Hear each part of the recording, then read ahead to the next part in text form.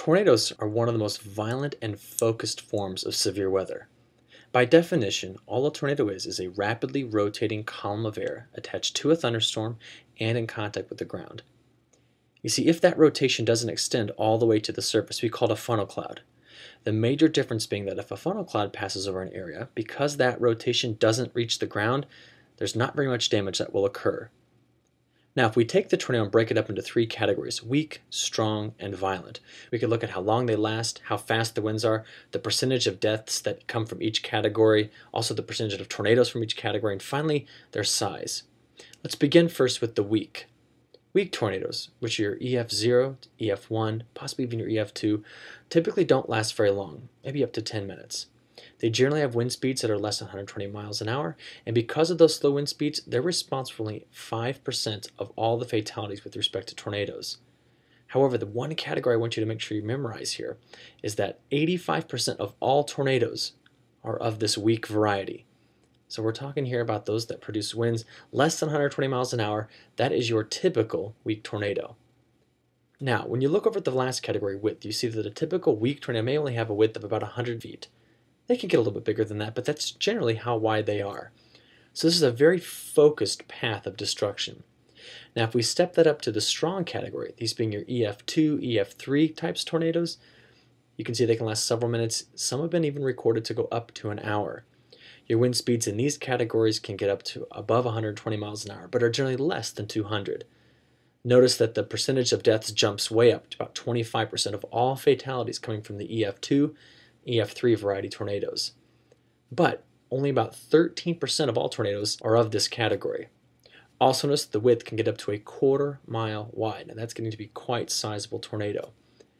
When you get up to your violent categories, the F4 and F5, or the EF4 and EF5, sometimes we can have long track, long lived tornadoes that can potentially last more than an hour.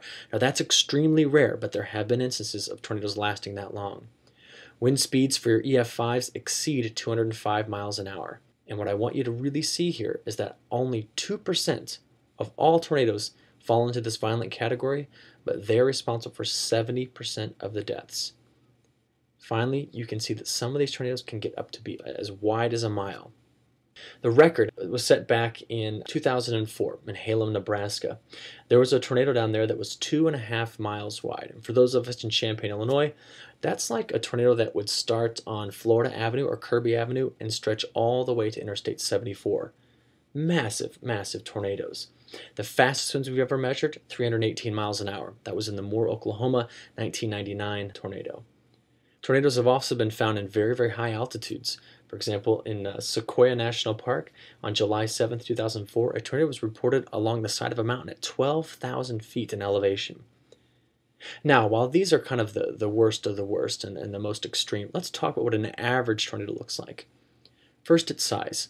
On average, the diameter of the track of the tornado is somewhere between 150 feet to a half mile wide.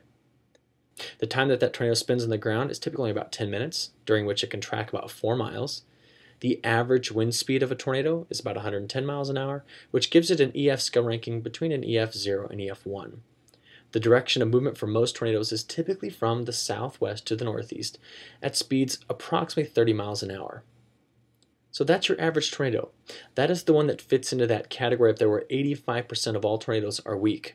So when we look at average tornadoes and we start to talk about watches and warnings and, and how these particular tornadoes can, can be so devastating, we want to first establish the average warning time in the United States.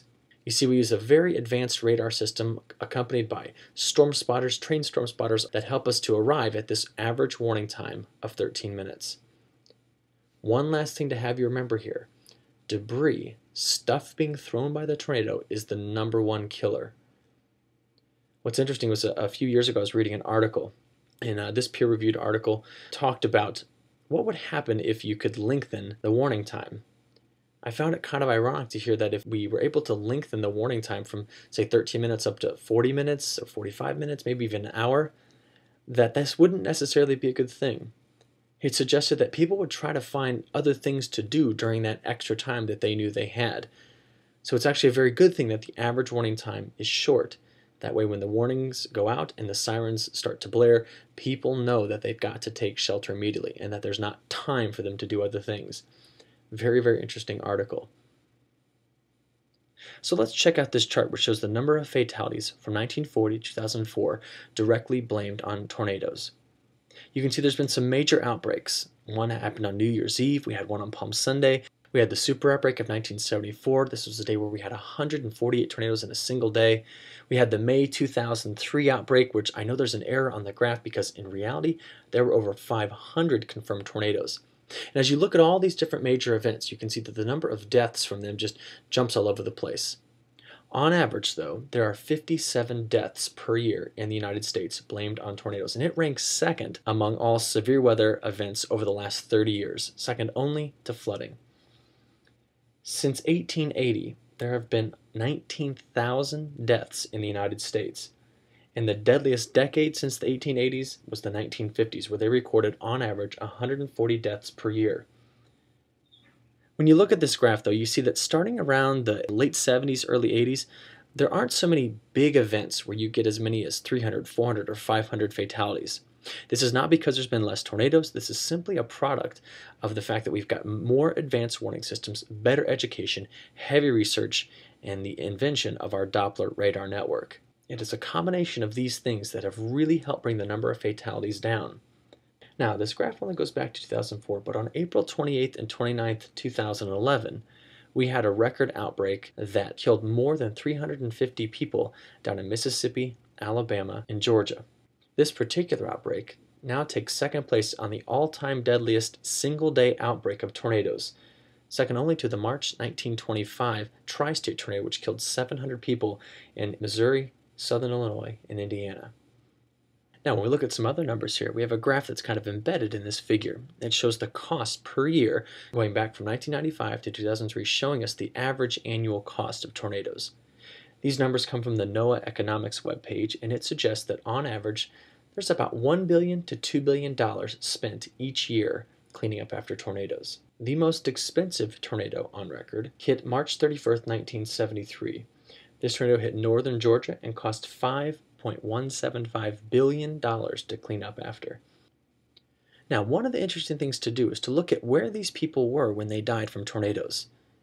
In this figure, you can see that 43.94% people that are killed in tornadoes are in mobile homes. About 25% are in permanent homes, and about 10% are in vehicles. Those are our three largest categories. Mobile homes by far number one. When it comes to looking at the total number of deaths per state, we find that Texas is the number one.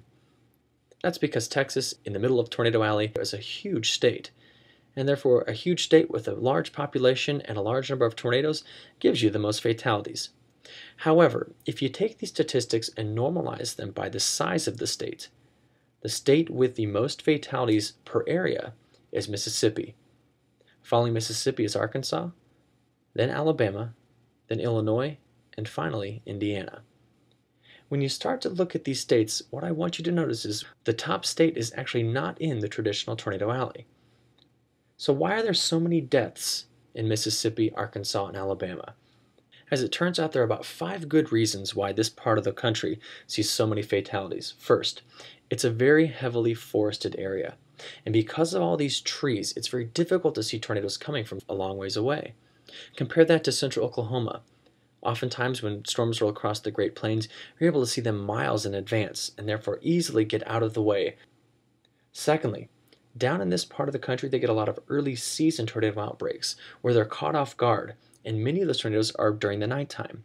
Third, these people in Tornado Alley, like those folks in Texas, Oklahoma, Kansas, Nebraska, Iowa, well, they're very used to tornadoes and they know how to take shelter and they're very prepared.